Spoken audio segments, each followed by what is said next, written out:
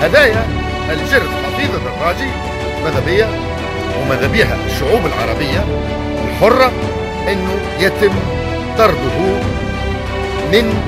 بين سبور ومن قطر بصفة عامة